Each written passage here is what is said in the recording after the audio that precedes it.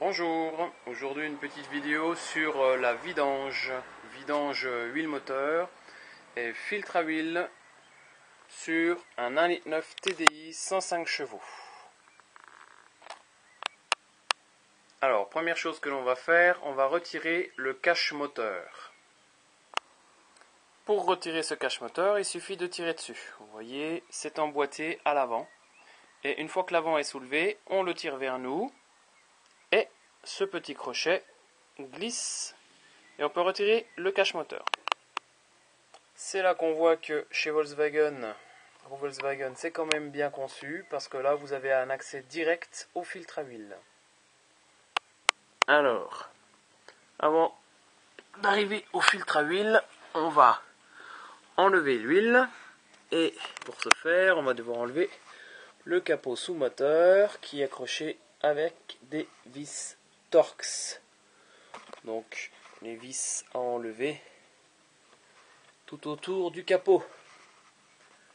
C'est parti. Voilà, on a enlevé le capot.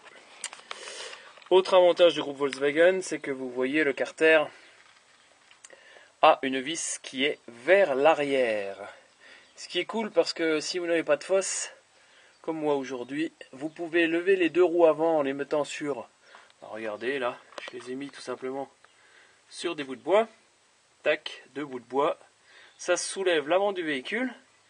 Et le carter, et eh ben la vis à l'arrière fait que l'huile va bien s'écouler. Il n'y a pas de problème. Donc il n'y a plus qu'à dévisser ça pour que l'huile coule. Auparavant, on va aller dévisser le bouchon de remplissage pour que l'air puisse rentrer facilement. Je dévisse le bouchon de remplissage. Donc c'est parti, je dévisse. C'est un écrou de 19. Pour information, les vis tout à l'heure qui, qui enlevaient, qui tenaient le cache sous moteur, c'était du Torx de 25. Allez, c'est parti, on dévisse.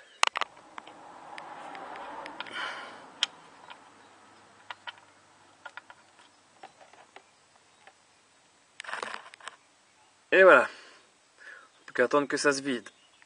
On va aller faire le filtre à huile en attendant. Allez, on va dévisser le filtre à huile. Filtre à huile avec une clé de 32. Voilà, je l'ai desserré. Vous voyez, c'est quelque chose qui se dessert très très facilement.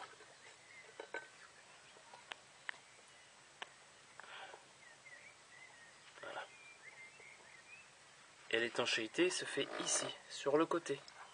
Il n'y a vraiment pas besoin de serrer ça fort. Alors une fois le filtre démonté, on va aller changer le joint qui est ici, hein, l'étanchéité latérale pour ces messieurs qui serrent tout fort. Et puis on va changer le filtre. Donc moi j'ai pris un filtre pur flux. Je fais de la pub parce que c'est made in France. Et puis ça va très bien.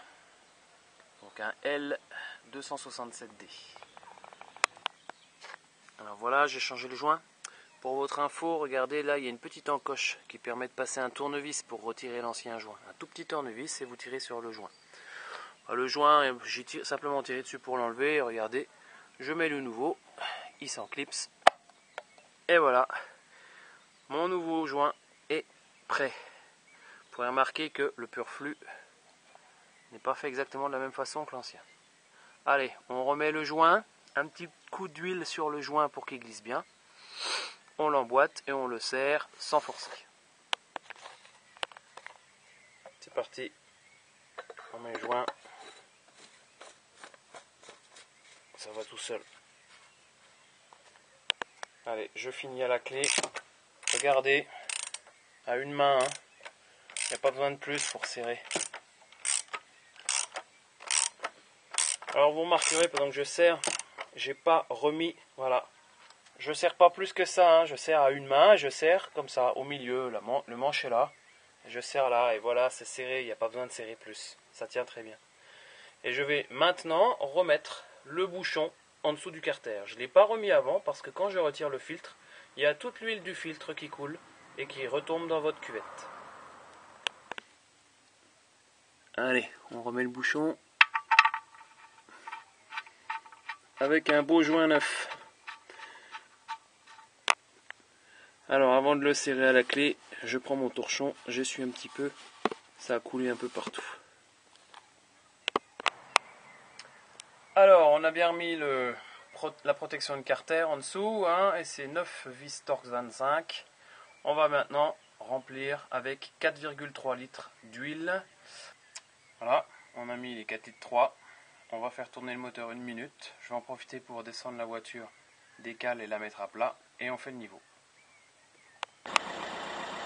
On fait tourner la voiture euh, une bonne minute, on l'arrête, on attend 30 secondes, une minute et on fait le niveau. Allez, on fait le niveau. On tire une première fois la jauge. On la suit. On remet la jauge à fond. On retire et on regarde. Je sais pas si vous voyez, mais en fait, Ici, on voit qu'il m'en manque un tout petit peu, donc je vais remettre un chouïa, et puis ce sera bon pour moi. On remet l'insonorisation moteur, et voilà, la vidange est faite. A bientôt